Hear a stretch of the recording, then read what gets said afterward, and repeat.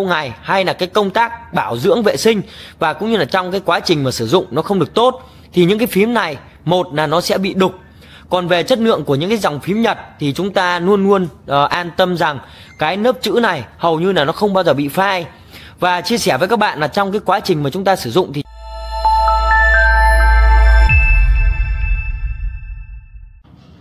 Ghế massage nội địa Nhật hàng đấu giá sẽ trông như thế nào khi về tới Việt Nam? Chào mừng các bạn đã quay trở lại với kênh của Ngọc Gia Ban. Trong video ngày hôm trước, Ngọc Gia Ban đã chia sẻ và giới thiệu cho các bạn với cái nô ghế hàng đấu giá mà Ngọc Gia Ban vừa mới về tại cơ sở số 3 ở thành phố Hưng Yên với nhiều tầm phân khúc và cũng như là nhiều mẫu mã khác nhau. Ví dụ như là cặp ghế AS 2000 của thương hiệu Furidoki và cũng như là trong video ngày hôm nay thì Ngọc Gia Ban muốn chia sẻ chi tiết cho các bạn hơn về ba cái phiên bản mã ghế đầu 7 đến từ thương hiệu ở Panasonic. Ở đây thì Ngọc Giao Ban có ba cái chiếc ghế, hai bên thì sẽ là hai phiên bản màu đen và cũng như là ở giữa là phiên bản màu ghi. Với chiếc ghế đầu tiên là phiên bản màu đen uh, của thương hiệu Panasonic có mã là EAP MA73 và ở giữa đó chính là phiên bản màu ghi cũng là chiếc ghế EAP MA73 và ở chiếc ghế cuối cùng, đó chính là phiên bản EP MA74 với cái gam màu đen. Thì trong video ngày hôm trước là Ngọc Giao Ban cũng đã chia sẻ cơ bản cho các bạn về cái độ mới của những cái chiếc ghế này.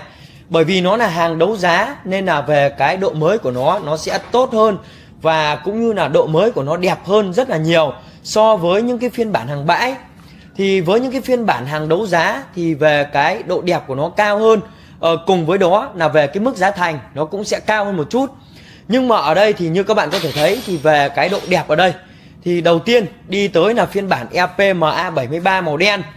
Thì uh, cũng giống như là trong video ngày hôm trước Ngọc Gia Ban đã chia sẻ với các bạn rồi về các cái đường chỉ của nó này nó còn rất là trắng và cũng như là còn rất là sáng. Đặc biệt là ở đây một trong những cái điểm mà chúng ta có thể nhìn thấy ngay khi mà chúng ta nhìn cái chiếc ghế ban đầu đó chính là về cái độ căng và độ mọng của cái chiếc ghế ở đây đó chính là về cái hệ thống ở phần nỉ phía sau lưng và cũng như là về cái phần bông xốp ở đây. Đấy, cái phần bông xốp nó còn rất là căng và mọng. Khi mà nó được ánh đèn, nó chiếu vào thì nhìn nó sẽ rất là bóng.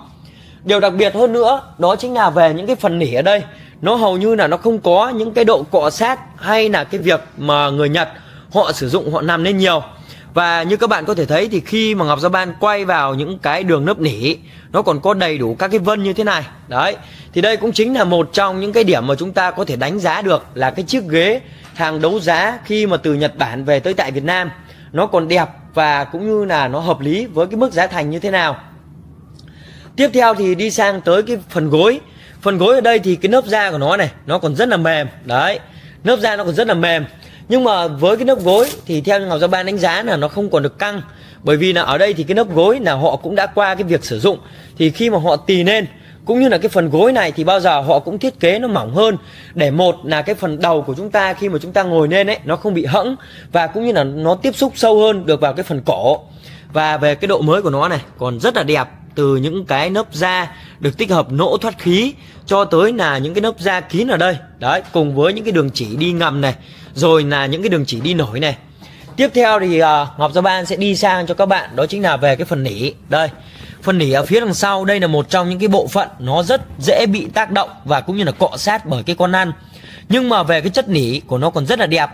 Và nát nữa thì Ngọc Giáo Ban cũng sẽ giới thiệu thêm cho các bạn về cái phần nỉ ở phía đằng sau để chúng ta có một cái nhìn nó còn được tổng quát hơn rất là nhiều. Và cũng như là về những cái hàng đấu giá với những chiếc ghế massage thì khi mà về tới tại Ngọc Gia Ban nó sẽ đẹp như thế nào?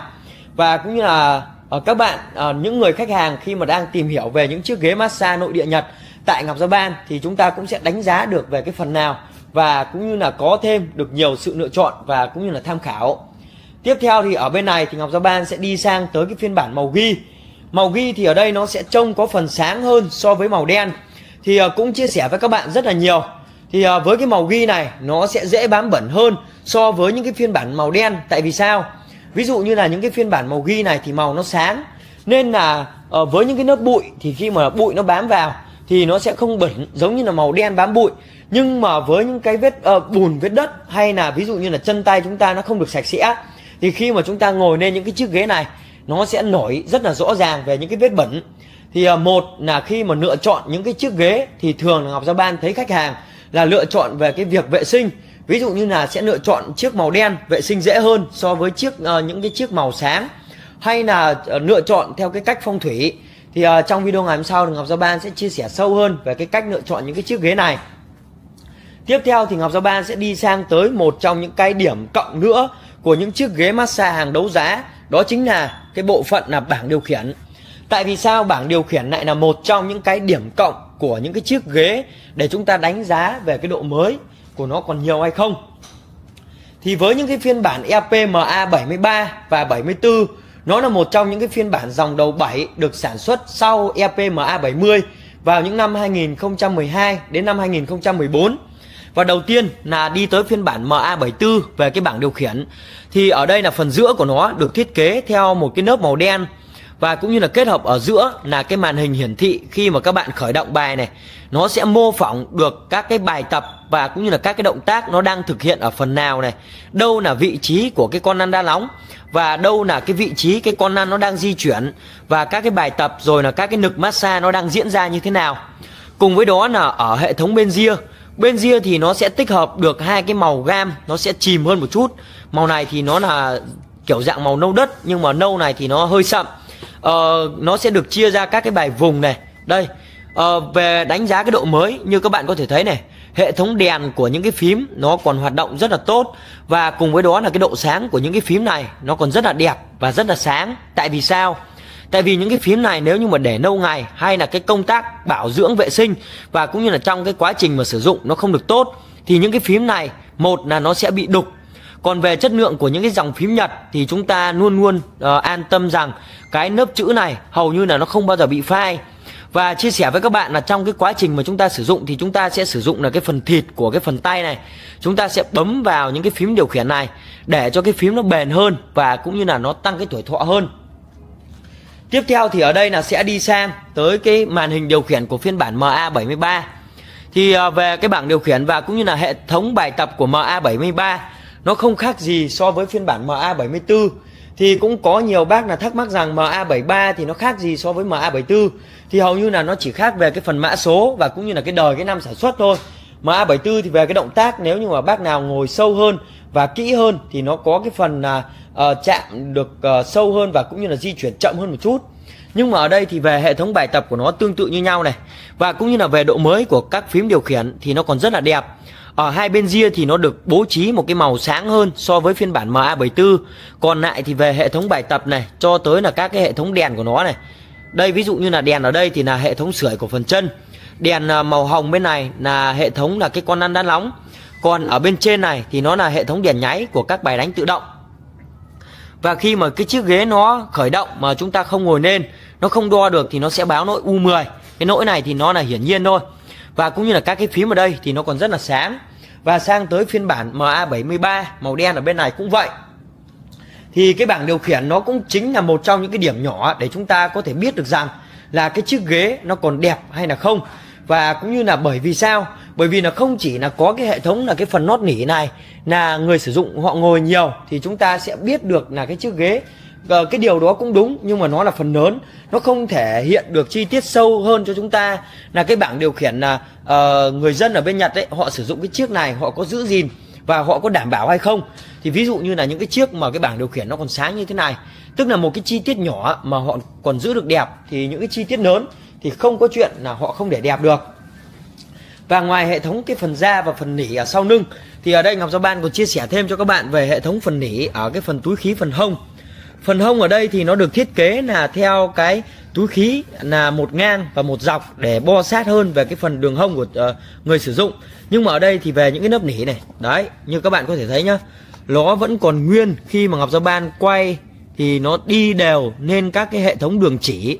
Và cũng như là ở các cái nớp túi khí phần tay này nó là một trong những cái bộ phận nó rất là dễ uh, bị uh, kéo giãn lên. Bởi vì sao? Bởi vì là với những cái hệ thống phần khí như thế này thì khi mà nó thổi ấy, thì nó sẽ làm tăng được cái uh, hệ thống là cái uh, túi nỉ này nó sẽ hoạt động. Nhưng mà một trong những cái điều mà cái chiếc ghế nó còn rất là đẹp rất là mới thì chúng ta có thể nhận diện qua được đó chính là về những cái hệ thống phần nỉ như thế này. Đấy. Thì ở đây thì Ngọc Giáo Ban sẽ bật tạm thời được cho các bạn một cái uh, bài tập về cái phần tay lên để cho các bạn cũng sẽ hiểu được cái phần nào là về cái chiếc ghế nó còn đẹp hay không. Đấy. Thì ví dụ như nào ở đây? Đây khi mà ngọc giao ban bật lên này. Đấy cái phần tay nó sẽ kẹp như thế này và cũng như là hệ thống phần nỉ, nó sẽ kéo giãn rất là nhiều. Và đi sâu hơn cho các bạn về cái bộ động cơ. Đây là một trong những cái điều mà khách hàng rất là thích trong cái quá trình mà cái chiếc ghế nó về nó còn đẹp hay không. Thì ở đây Ngọc Gia Ban đã để cái phiên bản MA74 nó đẩy cái bộ động cơ lên và để cho các bạn nhìn nó được ờ, ở cái tầm giữa hơn và hiểu hơn là ở đây thì nó có một hệ thống dây Cura này. Đấy nếu mà chiếc ghế nó có chạy nhiều hay không thì chúng ta cũng chỉ cần nhìn mỗi cái dây Cura này thôi. Dây Cura nó còn đẹp dây Cura nó còn tốt và cũng như là dây Cura nó vẫn còn nguyên bản. Thì đây là một trong những cái hệ thống đây phần dây của nó đây. Đấy các cái rãnh này các cái rãnh của nó còn rất là đều. Đấy các cái rãnh của nó còn rất là đều và cũng như là còn rất là mới. Hệ thống ở đây đó chính là hệ thống dây ban 140H CF thì uh, về cái việc lựa chọn dây Cura thì Ngọc Giao Ban cũng đã hướng dẫn và chia sẻ cho các bạn rất là nhiều rồi đấy. Rồi cho tới là hệ thống phần nỉ ở đây. Đấy. Cái chất nỉ ở đây thì vừa nãy là Ngọc Giao Ban chia sẻ cho các bạn là cái lớp nỉ ở bên đằng trước. Thì nó phải qua thêm một cái lớp nỉ này nữa thì nó mới tới được cái hệ thống là cái con ăn nó cọ sát vào. Thì uh, như ở đây là các bạn có thể thấy là về cái phần uh, bốn con ăn của dòng ấy Panasonic này nó kết hợp với cái hệ thống là cái con ăn đá nóng ở đây. Đấy. Đây chính là cái hệ thống của cái con ăn đá nóng này. Thì ở bên trên nó chính là cái con ăn silicon và ở bên ngoài này thì nó là cái con ăn đá nóng thì nó vừa do là cọ sát giữa cái con ăn màu đen và cũng như là nó tiếp xúc nhiệt, thì nhiều chiếc là nó sẽ hơi bị ố vàng hay là nó bị đen. Nhưng mà ở những chiếc này thì nó còn rất là đẹp. Đấy. Rồi là cho tới ở đây. Thì với những chiếc ghế này là Ngọc Gia Ban cũng chỉ cho anh em là vệ sinh qua cái phần bên ngoài. Còn ở đây là về các cái phần thanh trục này. Đấy, nó còn nguyên bụi. Chưa thông qua một vấn đề vệ sinh hay là thay thế gì. Bởi vì là cũng có nhiều bác khách hàng là nghĩ rằng là sẽ thay thế. Nhưng mà ở đây này nó còn đẹp từ những chi tiết nhỏ như là những cái nò xo ở đây. Đấy. Cho tới là ở bên này thì à, Ngọc Gia Ban sẽ quay rõ hơn. Đó chính là về cái lớp mỡ chịu nhiệt. Lớp mỡ chịu nhiệt ở đây nó là một cái lớp mỡ màu trắng này. Đấy. Nó sẽ chạy rất là dọc và đều.